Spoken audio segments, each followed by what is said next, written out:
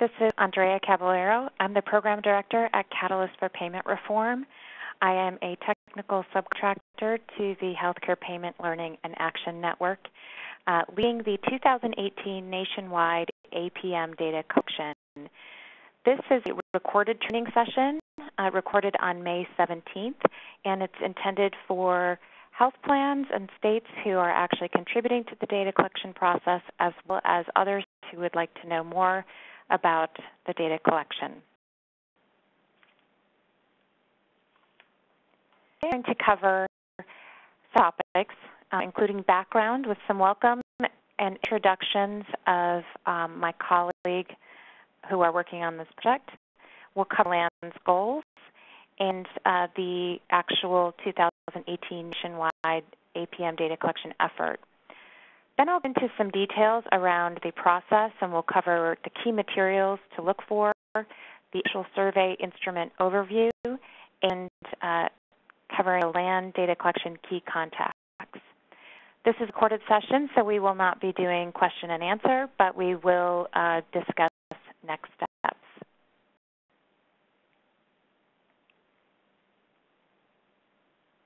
As I mentioned, I'm the program director for Catalyst for Payment Reform.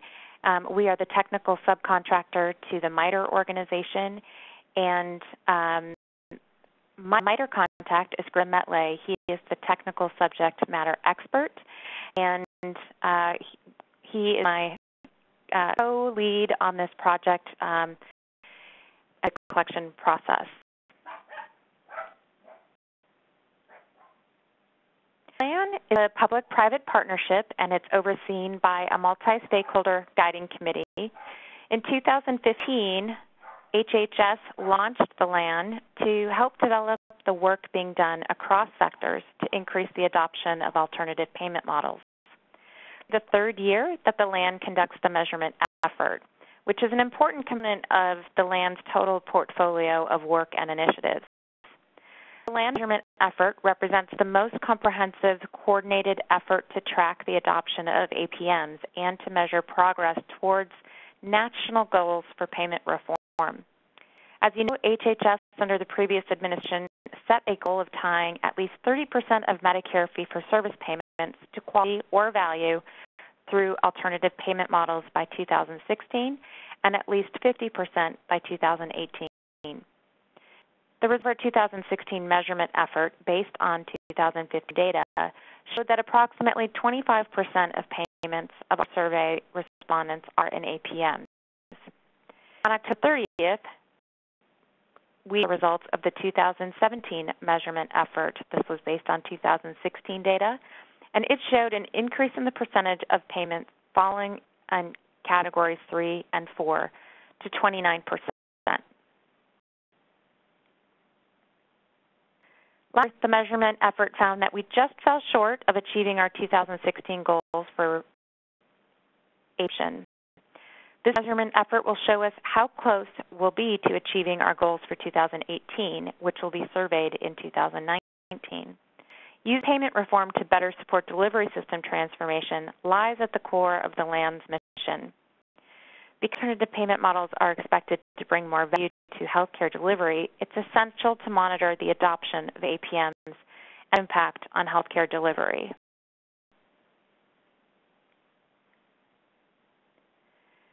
This material in a little bit more detail later in this presentation, but here you can see an overview of the measurement process. Data will run from the middle of May through the middle of July and using a Qualtrics survey tool. This is an online tool. Plans will self-report numerator and denominator data in specified fields, and very importantly, the LAN guarantees that individual plan data will be kept confidential, and all plan data are aggregated for a final result. Used in the amendment effort are tied to the categories designated into the LAN APM framework. It's tied to this framework. It's important to understand how the framework came to be and how it classifies APMs. For those who are familiar, unfamiliar with the LAN APM framework and how it came to be, It was convened um, by a multi-stakeholder work group in 2015 to build upon and refine a system of that classified APMs CMS originally developed. Chaired by Dr. Sam Nussbaum, developed a four-category framework with multiple subcategories, along with a set of principles for payment reform and model design. In the beginning of 2016, Subsequently, the LAN convened a small group of multi-stakeholder representatives to revisit the original framework in light insights gained through experience designing and implementing APMs, as feedback from plans reporting data for measurement. the effort resulted in changes to the original principles as well as revisions to the original classification system. The final result of the AP refresh effort was released in 2017 and refreshed classification is displayed here on, on this slide. The first year that the measurement effort used, used the refreshed framework categories. I will provide a lot more detail on how these changes impact the measurement metrics, but in the meantime, I want to provide a little bit more explanation about the rationale behind these changes. Those who participated in previous measurement efforts will note slight modifications in the framework subcategories. First, you'll, that, you'll note that categories 2C and 2D in the original framework have been consolidated in the refresh framework. This is largely based on feedback from plans who told us that it was difficult to distinguish two varieties of pay for performance and that a single subcategory should suffice. It's a little to tell from the graphic here, but you'll also notice that there was a slight modification to the specifications for Category 3A. In the original LAN framework, Category 3A APMs held providers accountable for cost performance against a benchmark. Such providers would share in savings if their costs fell below the benchmark. However, the workgroup concluded that financial benchmarks may be counterindicated in certain situations For example, some small practices which do not possess sufficient patient pools could be subjected to financial risk if they were held accountable for cost performance against a benchmark. Rather than raising undue barriers for small providers who want to participate in Category 3A, the Fresh Group decided to slightly modify the subcategory definition. APMs that use financial benchmarks, Category 3A includes APMs that introduce cost accountability through utilization measures. When spending assessed by these measures constitute a significant portion of the total cost of care. Finally, you will notice that there is now a new subcategory for 4C. The subcategory captures payments made within integrated finance and delivery organizations, finance and to the delivery arms. In purple, integrated finance and delivery systems align economics incentives for both payers and providers by placing both under the same organizational entity. The REEF group decided to create a new subcategory to track payments within these organizations in order to track the prevalence of these integrated arrangements. The group did not conclude that Category 4C payments are superior to other four Category 4 payments.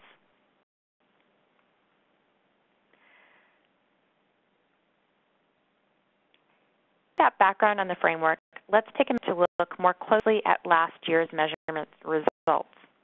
As you can hear, data from last year's survey represented over 245 million Americans, which is approximately 84% of covered lives across four of business market, Medicare Advantage market, Medicaid, and fee-for-service Medicare. Based on this data set, we were able to conclude that 43% of payments remain in traditional fee-for-service, 28% reside in Category 2, and 29% are in Categories 3 and 4.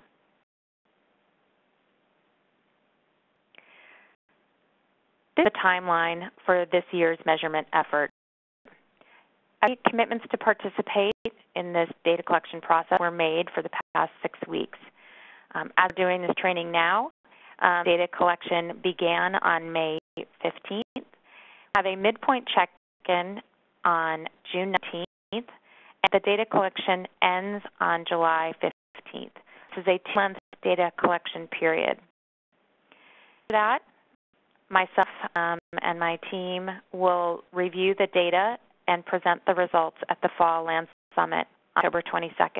If you're able to make it to DC for that event, it's a great way to network with your colleagues and hear the latest insights from the field. Now to cover the process for data collection.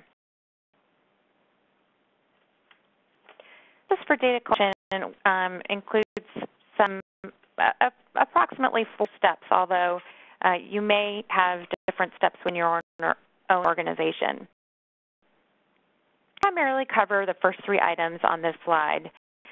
Uh, the steps that we advise for data collection, uh, direct you to frequently asked questions, and then I'll do an overview of the online survey, but I'm also going to do an overview of the tool that we used last year, an Excel file, which some of you find helpful in terms of collecting data internally.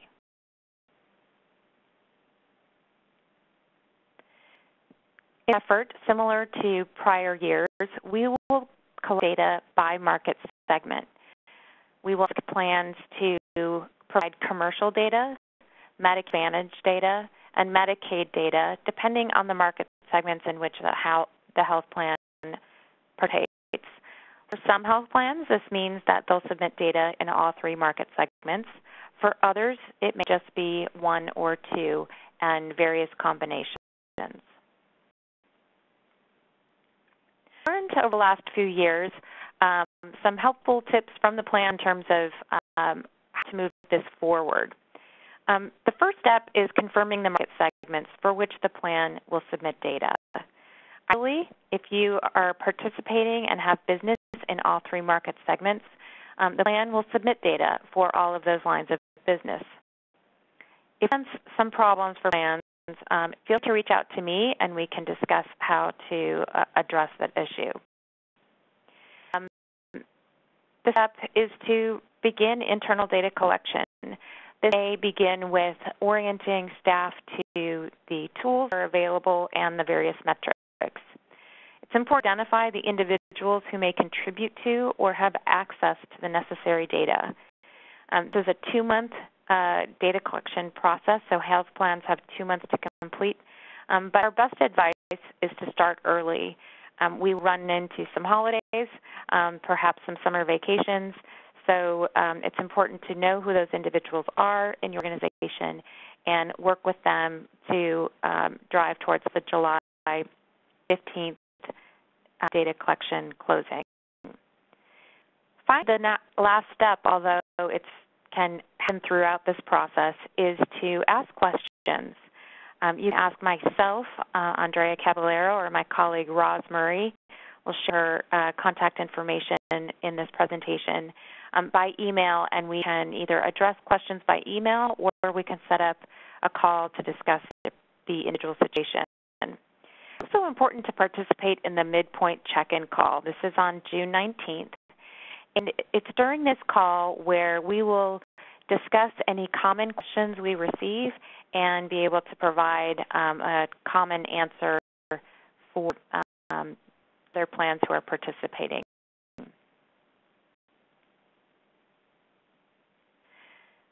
This is a thumbnail of a document that will be very important to you. It's a frequently asked questions document. And um, it's something that you might want to print or keep handy because it answers as many questions as possible that are universal, universally applicable to all health plans. Uh, we've curated questions from past years and we've incorporated the answers so everyone has a consistent um, resource to look at and, and use. The document um, covers a lot of different things, but it provides key information on how the market segments are defined. So you'll find how we define the commercial market, the Medicaid market, and Medicare Advantage. Um, some things are excluded, so this document will discuss what's included and what's excluded. Um, other key terms are defined. We discuss preferred methodological approaches. Um, there's also a description of the new subcategories that I described earlier in 3A as well as 4C. We give some examples of how APMs are categorized, and how the data will be reported publicly. Um, from the previous results that um, there is a infographic that will be used. Um, it also is uh, reported publicly at the LAN Summit on October 22nd. And um, most importantly, probably for health plans, is that the health plan data uh, confidential. And all of the data are aggregated into a, a single result um, for the nation. Um, frequently asked questions document, there's also a link to the 2017 refresh white paper and framework. Um, this frequently asked questions document is available on the LAN measurement website, um, and it also has links um, to the in the online survey. This is a screenshot of the online survey in Qualtrics. Um, and I'm going to uh, begin sharing my screen, and um, but I'm going to not go right to the Qualtrics uh, document. I'm actually going to take you to the Excel file. Excel file. Um, some of you have done this um, in past years will recognize this. Um, the Excel file is step, and all of the questions in here are the exact same that you'll find in the online tool. But it probably um, is helpful for you to use this document internally and um, share with others who will be contributing to the data collection effort. Just to you, there's some tabs at the bottom here. This is our introduction tab. You have general information. This is your commercial your Advantage metrics, Medicaid metrics, crossing questions, informational questions, and definitions. Now, some of those you saw some highlighted uh, rows, and those highlights are important because those denote what is new this year compared to last year. Um, so, all of these questions are in the online survey, but this would be a helpful tool for you to use and share within your organization the reason it's important, uh, and you might find it more useful to share this in your organization, is that the link to the Qualtrics tool, once it's activated, it identify um, and recognize the computer and the IP address of the person who opens that link. Um, so it's most important to have the person going to fill out the survey be the individual who clicks on the link. If others in your organization also click on this link, and if you share it with them, it's as if they're starting the survey all over again. Um, and we'll keep a lookout for any multiple uh, responses, but ideally, um, one person from an organization would click on the Qualtrics link to the survey and complete the survey. Survey does not have to be completed in one sitting, but certainly if you have used this Excel file uh, to gather your information, um, it could be completed in one sitting in the sense that um, you would just be transposing your answers um, that you asked in the Excel file and transpose them over to the Qualtrics survey. So um, that's the Excel file. It is available for um, health plans who, and states who are participating in this effort. Um, it is not necessary to submit this back to CPR to, to myself. Um, it's simply a tool for health plans to use internally. Um, the data that must be submitted is through the Qualtrics survey tool. That I am going to bring us to the Qualtrics survey tool. And this is the landing page um, for the survey. Uh, and when you click on the link, um, you'll get this overview. And I just want to point out a few things here, which is you have links to the refresh framework. You also have a link to the frequently asked questions um, I just mentioned. And um, you'll also have my email address here. It's up throughout, so anytime you do have a question, uh, feel free to email me. The thing that you'll note in, as you complete the survey is that there is a hover over text option. So if you hover over this blue text, you can see a pop-up box with the uh, most like a definition um, or a term or a clarifying statement to help people understand what it is we're talking about. each of the methods and subcategories all have this hover over function. Um, if you think about it in the Excel file, um, it's like your definitions tab. Um, the one thing that is uh, different between the Excel file and the Qualtrics survey is that I can't highlight for you in yellow, like the yellow rows, um, in the Qualtrics survey what's new. So I'm going to point that out where I can, um, but uh, the highlighted rows in the Excel file, again, tell you what's new. On page, you'll also see that we would like responses by July 15th, and then get started. See over here on the left-hand side a menu of different components of the survey. Again, this follows all of the same questions that are in the Excel file. So on this first page, it's the general tab, name of your organization, your full work name, email address, and phone number. This is used in case we have follow-up questions and we can find the right person in the organization to whom we should direct those questions. The next question here is um, asking for the total number of members covered by the health plan by line of business. And so you'd enter your total number of members um, based on the line of business in which you're responding. You should note that um, we are capturing data from calendar year 2017.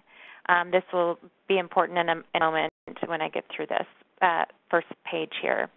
So here's an example of a hover. What do we mean by total healthcare spend? You can see here it's the total estimated in and out of network healthcare spend and gives an example.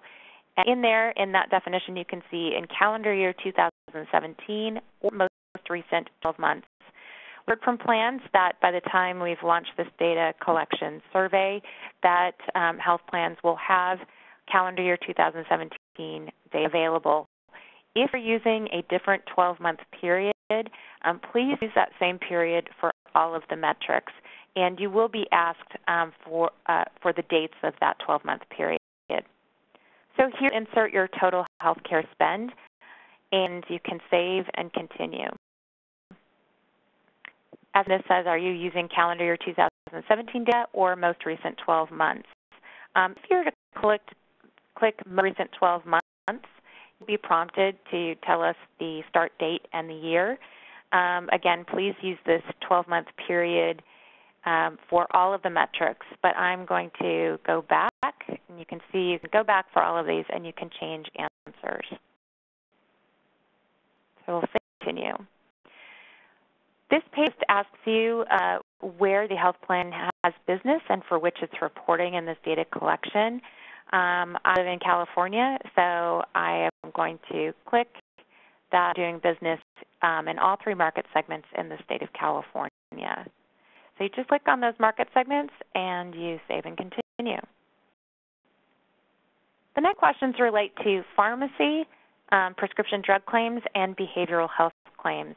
Um, this is not used in a final report, on a public report as a data point, but it's important for us to know if your denominator, that total spend, includes prescription drug claims.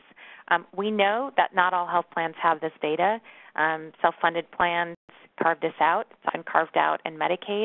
Same with behavioral health. So we ask if it includes some prescription drug claims from the pharmacy benefit um, in in total spend. And if the answer is yes, a next page that shows up and says, can you approximate how much of the spend is included?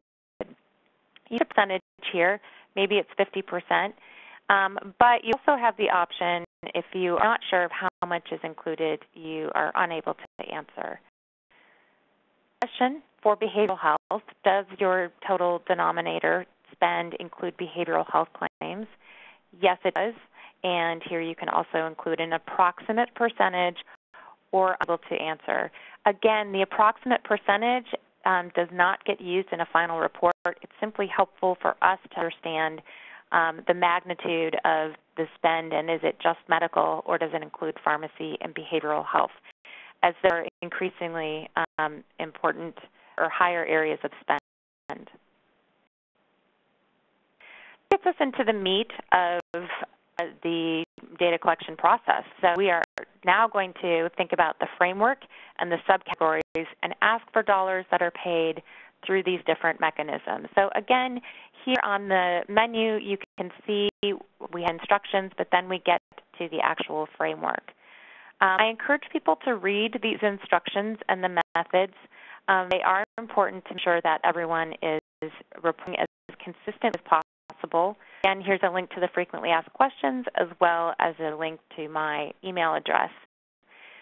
Now that um, for this data collection and for the LAN data collection effort, we are asking for total dollars that flow through a particular method. This includes the base payment plus incentive. So you can see that here. So you might be paying fee for service with a bonus, and we're asking for both the fee for service amount and the incentive payment. I'll give you an example. Very basic example is that you might have paid $100 um, in fee for service for a particular service, and the provider earned $3 because of uh, quality uh, performance. Then ask that you report $103, not just the $3. The other thing that's important here is that we realize that not all payment methods fall neatly into any particular category. Some are layered on top of each other. Um, and so this, this paragraph here provides direction on how to classify that. Um, we ask that you classify dollars in the dominant APM, which means the most advanced method. And there's an example here. So if you have a shared savings uh, that provider is also eligible for um, pay for, for pay for performance bonuses for meeting quality measures. Um, then you would report the fee for service dollars, the shared savings dollars, and the P for P dollars in category three. Now, they get a little tricky in terms of um, what the dominant method uh, or where should things get report. So we get lots of questions on this. It's not one that we could really answer universally in the frequently asked questions document. So please reach out to us if you have questions about how to categorize payments and lumping certain payments together, if you will. Um, next, we're going to just get right into the um, how how this with the framework. So here we have dollars paid to providers in calendar year 2017 or most recent 12 months. This is the same amount that you had in the general information um, tab. So um, this is a, this is going to serve as the denominator. So please use that same number and report it here.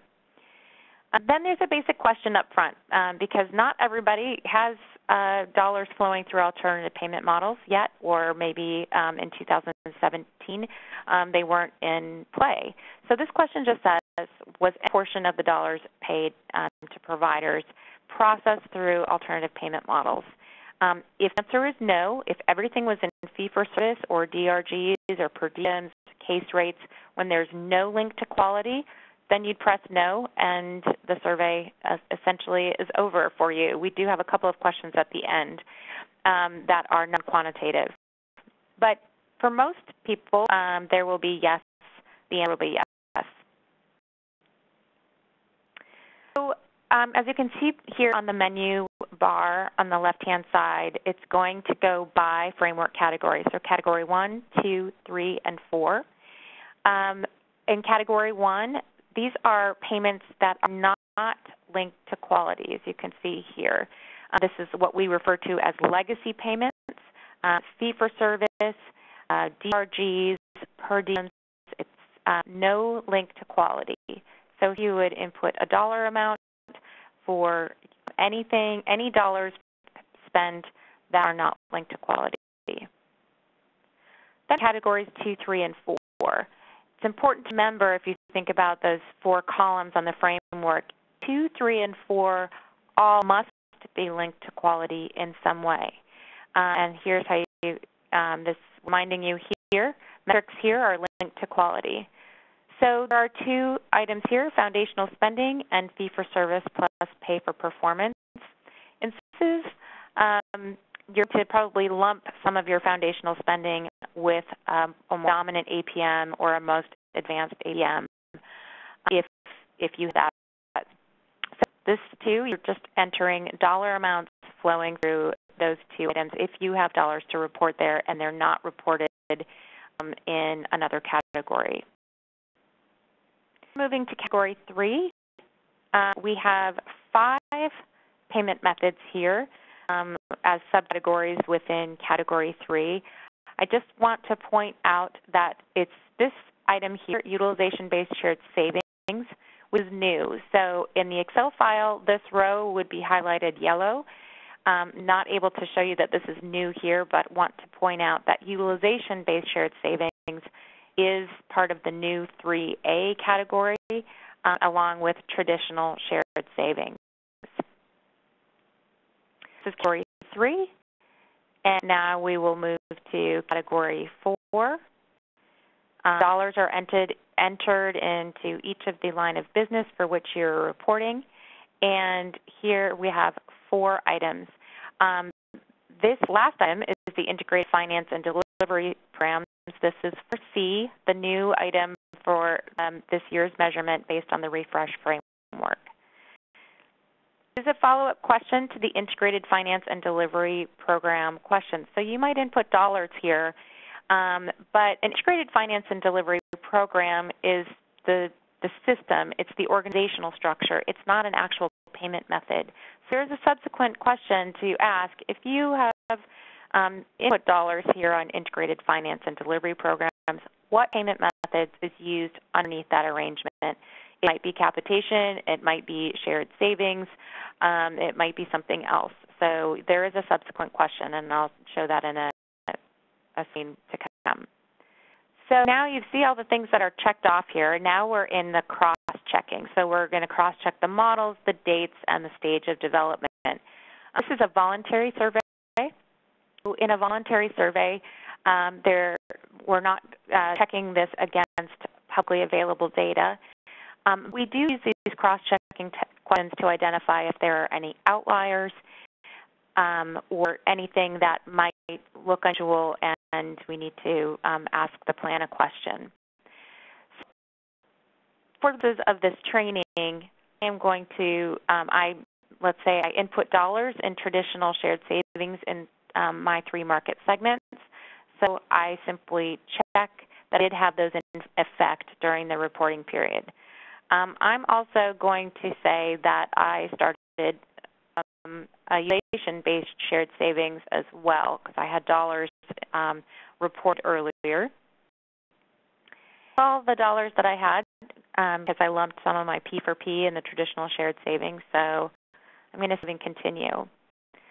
Um, because I mentioned I just did shared savings and utilization-based shared savings, um, I'm going to indicate um, when the program was launched. So um, the program was launched early in January of 2014, and you would repeat that um, for the different lines of business in which you reported. Um, Utilization-based shared savings, though, however, only started in 2017.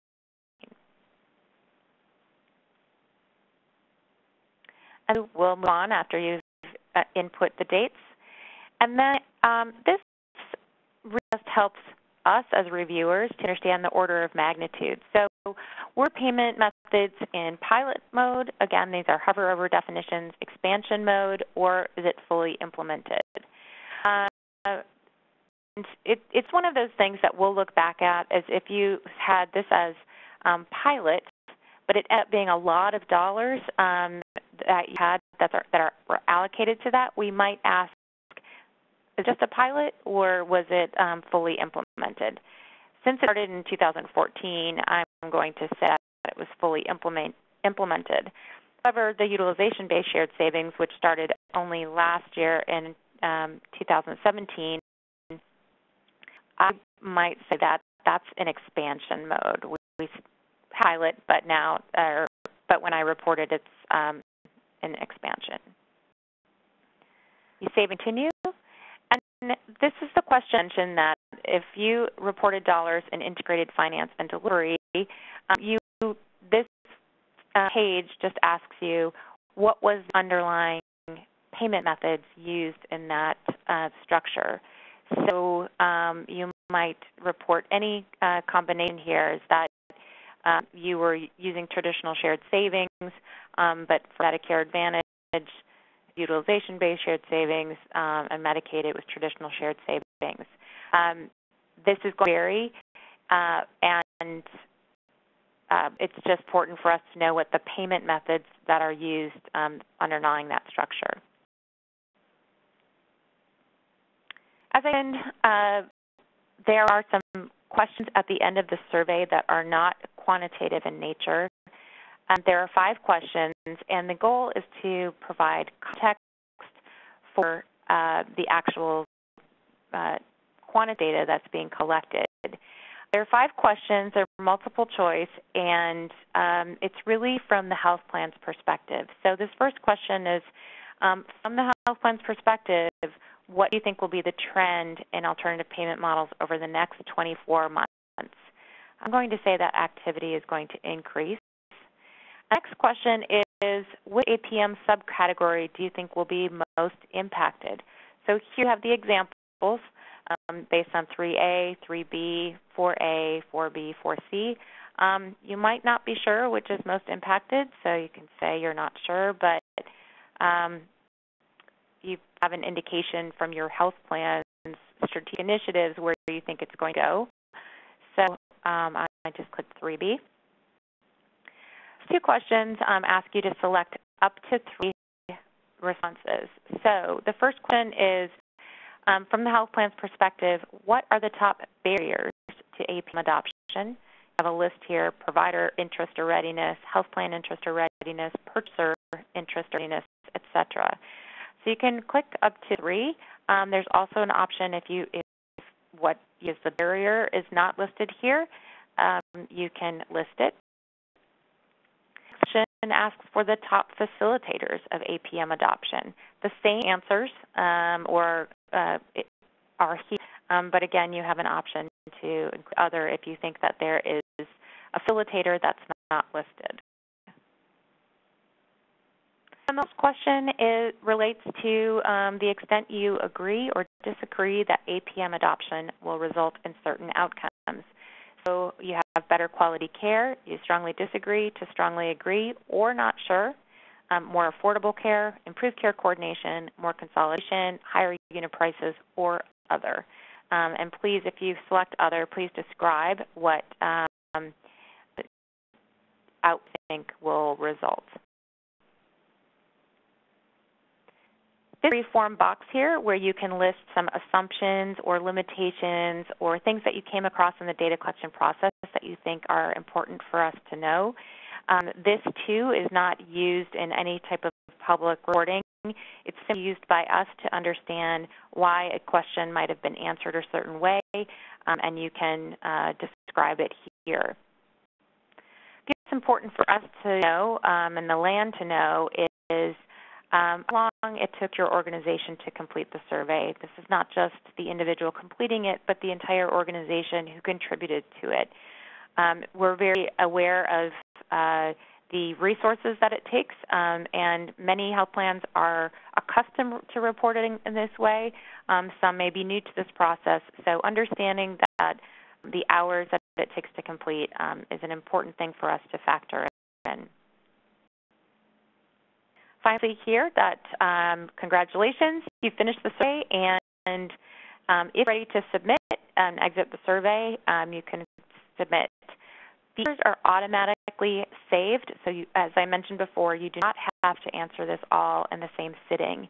But if you were to share this link with someone else, um, and you, let's say the uh, one individual started it, but you should link with another person, um, it will look as if the survey is brand new to that other person. Um, as I mentioned, it identifies the IP address and computer um, for who is started survey, and um, so it the responses are saved. Um, but for someone else who's clicking the link, it will look like it's a brand new survey. Right, my responses.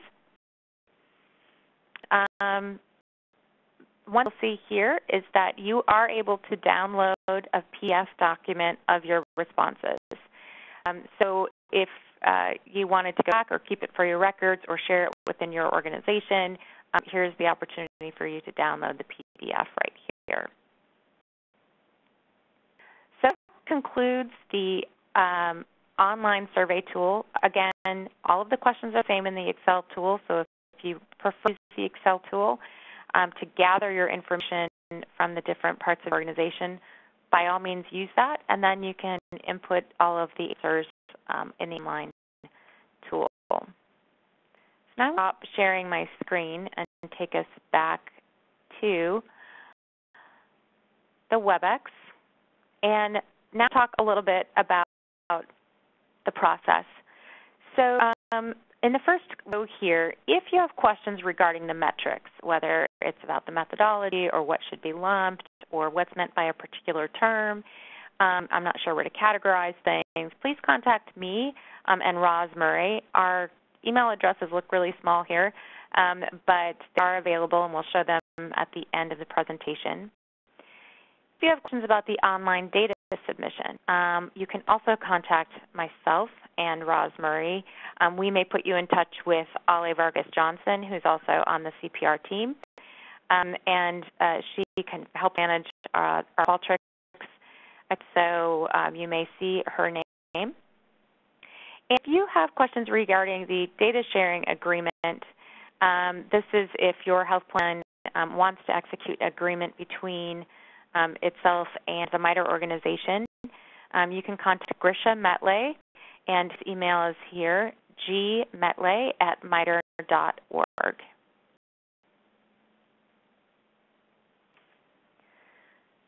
This concludes the training session for the 2018 APM data collection effort. Um, you can hear that my uh, email address is right here. If you have data sharing agreement questions, you can contact Grisha Metlay. And we really want to thank everyone um, within Healthline organization, within states who are participating for your leadership and commitment and time to this effort.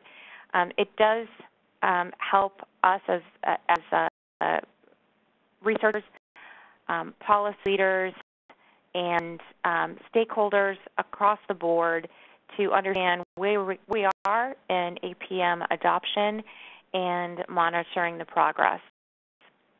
So for your leadership um, and your contributions to this effort. This is the recording.